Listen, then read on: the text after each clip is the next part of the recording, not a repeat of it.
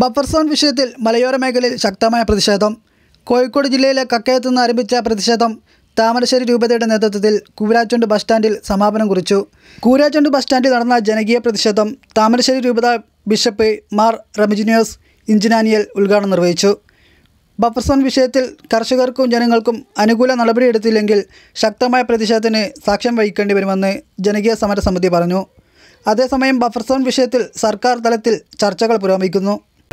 നാം ആവശ്യപ്പെടുന്നത്. അത് തീർച്ചയായിട്ടും സർക്കാർ നമ്മോടൊപ്പം ഉണ്ടാകുമെന്ന് തന്നെയാണ് നാം പ്രതീക്ഷിക്കുന്നത്. ഒറ്റക്കെട്ടായിട്ട് നിന്നുകൊണ്ട് തെറ്റായിട്ടുള്ള നിരവധികൾ കേരളത്തിന്റെത് പങ്കുവെക്കണമെന്ന് ഞങ്ങൾ പ്രത്യേകമായിട്ട് അഭ്യർത്ഥിക്കുകയാണ് ഈ അവസരത്തിൽ. ഈ കർഷക മനോഹരമായ മുദ്രാവാക്യമുണ്ട്. സംഘടിക്കുക പ്രബുദ്ധരാകുക പോരാടുക. എനിക്ക് നിങ്ങളോട് എല്ലാവരോടും കർഷക സുഹൃത്തുക്കൾ പ്രസ്ഥാനത്തിനും കർഷകരോട് ചേർന്ന് നിൽക്കാത്ത ഏതൊരു പ്രസ്ഥാനത്തിനും അത് തന്നെയായിരിക്കും. ഞങ്ങൾ ഒറ്റക്കെട്ടായിട്ട് തന്നെ നിൽക്കും. ഇതൊരു സൂചന മാത്രമാണ്. അതുകൊണ്ട് നമുക്ക് നീതി കിട്ടണം നീതി നൽകും എന്ന് തന്നെയാണ് നാം പ്രതീക്ഷിക്കുന്നത്. ആ നീതി തീർച്ചയായിട്ടും മറ്റ് ഗവൺമെന്റുകൾ മഹാരാജ് താല്പര്യമില്ല. നമുക്ക് നമ്മുടെ ജോലിയെല്ലാം കളഞ്ഞ് ഇതുപോലെ വന്ന് സമരം ചെയ്യാൻ നമുക്ക് ഒരു താല്പര്യവുമില്ല.